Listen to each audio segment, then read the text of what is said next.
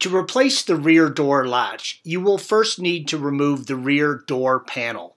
Please see the link at the end of this video for instructions on how to do that procedure.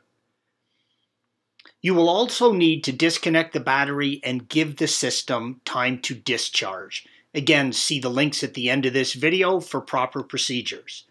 Once the battery's been disconnected and the system discharged, you're going to disconnect the electrical connection on the side airbag by pulling it straight out. Then slowly peel the vapor barrier off of the door. Be careful not to tear the barrier while removing it. If the vapor barrier tears, green arrow, replace it.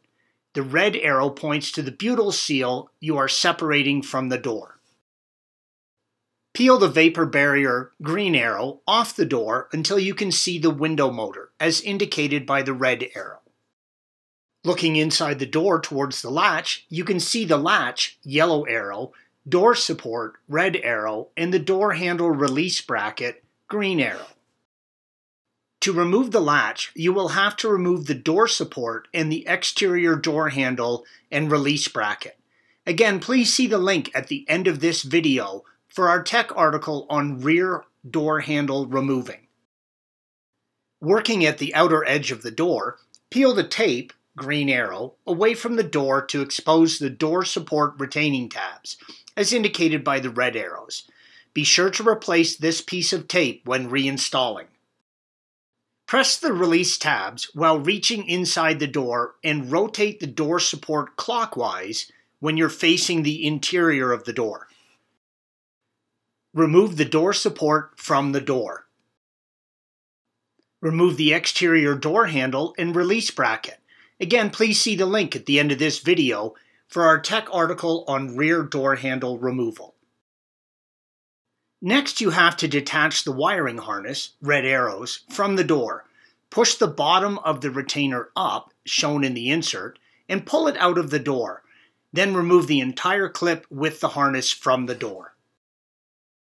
Working at the outer edge of the door, remove the guard from the door latch.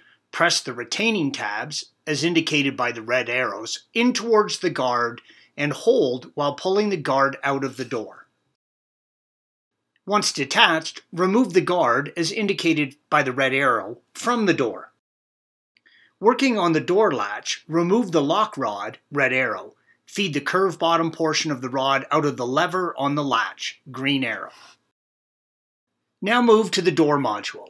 Disconnect the door latch electrical connector as indicated by the green arrow by pulling it straight out. Then feed the wiring harness through the door vapor barrier.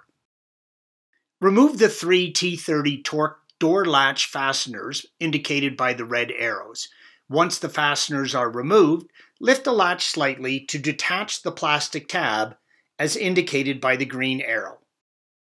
Then remove the door latch from the body by sliding it down and removing it at an angle through the opening in the door. To install the new latch, reverse the order of these steps. Remember to check the function of the latch before installing the door panel. I suggest closing the latch with a flathead screwdriver, red arrow, while the door is open. Then open it using the cables once you've attached them. This will ensure it is working. Thanks for watching. Click here to view the original article along with hundreds of other DIY content for your car.